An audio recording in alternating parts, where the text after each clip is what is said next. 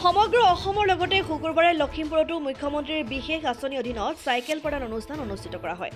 লখিমপুৰ জিলাৰ ত্যাগক্ষেত্ৰত অনুষ্ঠিত হোৱা এই অনুষ্ঠানত মুখ্য অতিথি হিচাপে উপস্থিত থাকে অসম চৰকাৰৰ ৰাজ্যৰ মন্ত্ৰী যোগেন মোহন।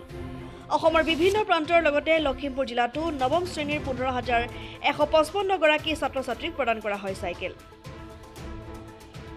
অনুষ্ঠানত উপস্থিত থাকে ঢকুৱাখনা বিধানসভা সমষ্টিৰ বিধায়ক নৱ কুমাৰ দলে বিপুৰীয়া বিধানসভা সমষ্টিৰ বিধায়ক অমিয় কুমাৰ ভূঞা জিলা আয়ুক্ত সুমিত সত্যৱান জিলা শিক্ষা বিষয়া হেম শইকীয়াকে আদি কৰি বহু কেইজন ব্যক্তি।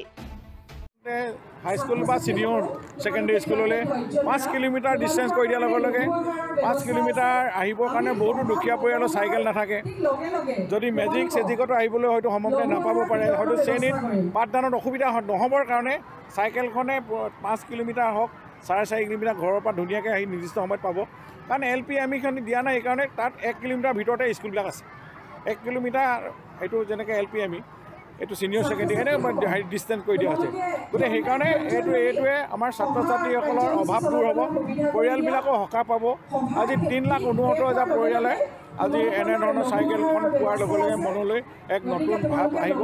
এই জনপ্ৰিয় আঁচনিখন এবাৰ সহযোগ লখিমপুৰৰ পৰা ৰাহানুদ্দিন আহমেদৰ ৰিপৰ্ট অসম আদিত্য।